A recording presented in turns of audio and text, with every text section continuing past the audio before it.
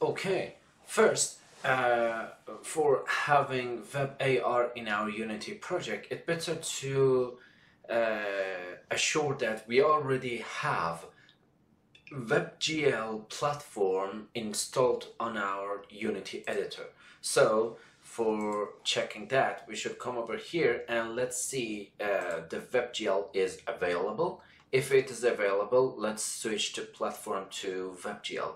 If it is not available, I propose to go over your uh, Unity Hub and go to the installs and uh, for example this is my current version if you don't see um, WebGL let's try to download WebGL from add modules and uh, okay and select the WebGL option. I already uh, downloaded it. If uh, it's not installed on your editor select the WebGL build support and install on your editor. After that uh, switch the platform of your project uh, into WebGL platform. Okay. The next step is uh, we should come over here and use Universal AR SDK or UAR. Okay, this is a web and native AR for Android and iOS. It is really good, and as you can see, it supports URP. It doesn't support HDRP. In, and it has really good options. For example, image tracking, face tracking, and instant uh, world tracking. It's a kind of surface tracking or ground detection uh, in Vuforia and AR Foundation, and it is really good. So, uh, an important point, it is free.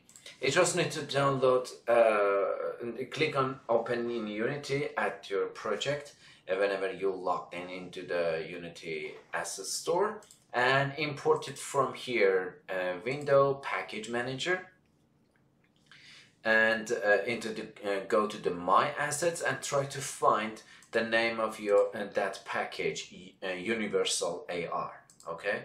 So let's find it. Okay where is it?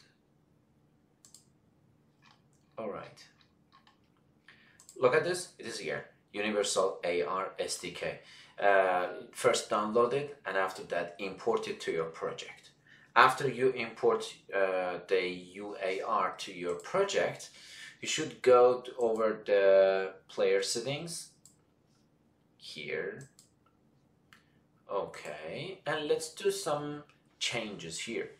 By default, in WebGL of Unity, uh, the WebGL template in resolution and presentation uh, has been chosen by default. Okay, if your Unity version is 2020, uh, less than 2020, or for example 2019, or uh, 2018, or 2017, it doesn't matter. 2019 or less, uh, you should uh, select Zappar 2019 template. If you are upper than 2019, 2020, 2021, 2022, or even Unity 6, we should select uh, Zappar. After that, you can change your splash screen to be able to show the Unity logo or not. For example, in my version, because my Unity version is a Unity personal, so I can't select that part, but and you can change with these options as well. All right, our project now it is, uh, is ready for uh, the first scenario and the first scenario will be uh, how we can add a 3D animated move into the uh, you know real real space without any marker. We want to use instant world tracking. Okay, I already made a sample scene now. Uh, just we need to uh, check them what I have done. First, we should uh, go to the Zappar and the camera. And here you can choose one of these options. For example selfie camera facing camera or rear camera. Uh, for our experience it's better to use rear, rear facing camera okay? Front and rear. Rear facing camera is the main camera of the mobile device or even other devices after you select rear, rear facing camera, you will see a Zappar camera appears here and it has a Zappar camera here and also Zappar camera here and this Zappar camera script. After that, we should come over here in the Zappar options and you will see instance tracking target. And click on this guy and you will see a simple object appears here. Zappar instance tracking target and it has Zappar instance tracking target component. I propose to don't touch it. It is fine. It doesn't have any complicated options.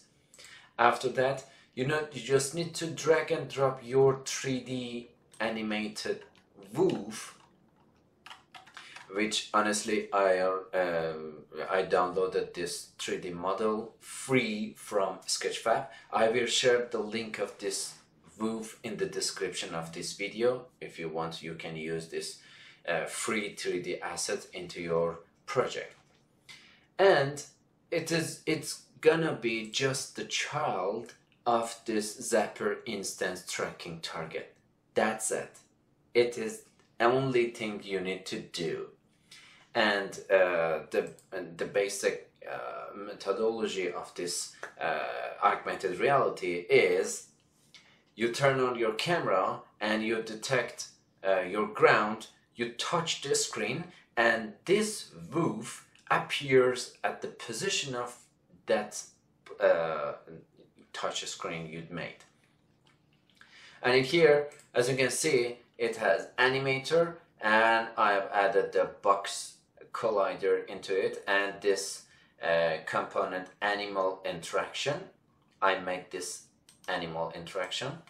Uh, for example if we click uh, this collider this roof, it shows a pop-up a 3d text and it says uh, look at this. It is a panel and look at this. This is roof, okay? But uh, in this code, I said on mouse down, let's select panel that set active true. It is our text. And after that, uh, try to look at to the camera of our uh, of our AR camera. Okay, so with this code, uh, this panel object from the Z angle, from the blue angle, all the time look at the Zappar camera. Uh, look at this. Here I said, okay, try to look at the Zappar camera. Zappar camera is our a augmented reality uh, camera in the scene. Okay, that's it. I, want, I just wanted to show you you can do whatever you want.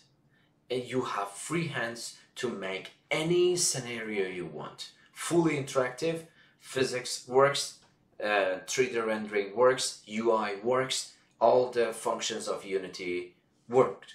So you have free hands to make anything you want. After that, you will save your scene and go to the build settings and add your scene into your scenes in build. Okay? The final step is you should go over the Zappar and into the editor you will see uh, two options are here. And try hit that button of update project settings to publish. After you made it if everything is fine you will see this message appears on your console. It says done updating editor related project settings for publish. Okay. Now everything is ready for publish. You just need to go over the file and build settings and try to uh, click uh, on the build and give it uh, an address to make your game over here. I made a, uh, a new folder, I called it Zappar Test, and over here I said select folder. Okay. Let's come back to our browser. Uh, into the this address, I will share the link of this address as well. Zap uh, ZapWorks projects, uh, my.zap.works. You will see the dashboard of your account. Uh, making an account in ZapWorks is free. You can uh, make your personal account, but remember you won't allow to use your application for commercial purposes. It is fully for learning. Okay, if you want to use your project for commercial purposes, you need to purchase the license of this, uh, you know, ZapWorks. But I wanna uh, assure you, it is truly cheap and it is really, you know, uh, makes sense to buy this uh, powerful uh, um, pro, uh, plugin for your project. Okay. Oh, yeah, we have this guy. Zappar test. And over here, oh, let, let's remove this guy. And we have build, fave icon, and India, index. We just need to, over here, select all of them and make, uh, okay. Yes, make a WinRAR of the zip file of this package. Okay. Now we have this zip file of our project. Okay. Into your dashboard, after you made your uh, own account and have a dashboard, uh, uh, you just need to click on this new project button and you will see there are four options. You just you just need to use universal AR maybe in your account universal AR will be the one of these small uh, options over here. It doesn't matter.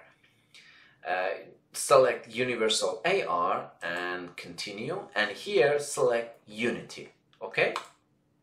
After that you will see a new project appears.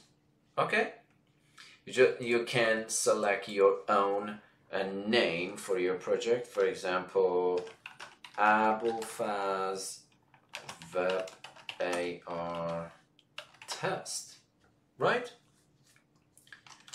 And we are ready for publish our game, okay? Over here, uh, we select upload and publish. And in here, we just need to drag and drop this zip file into this part. Remember, the limit size is 25 megabyte. Okay? Let's add your version name. It's supposed to be a number. 1.0.0. Okay? And upload and publish. Wait, and success. Your trigger is ready. And look at this. It this QR code is our uh, link of our project. So you, we can uh, send this QR code to anyone we want for launching this project. Okay, I will pause my video exactly here and I want to continue my video from my mobile phone to show you uh, how this web AR works. Okay, let's go to the mobile uh, browser. Look at this. I'm scanning this QR code and this pop-up appears. And now, look at this. It is Unity and my web browser. Oh, I forgot to select it false this woof, this text, honestly. It doesn't matter. What matter is, now if I touch my screen, for example, here. Now it attached to the ground and this 3D text look at me all the time.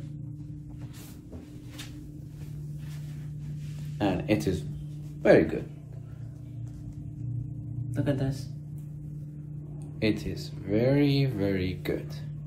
All right, let's go to the next step.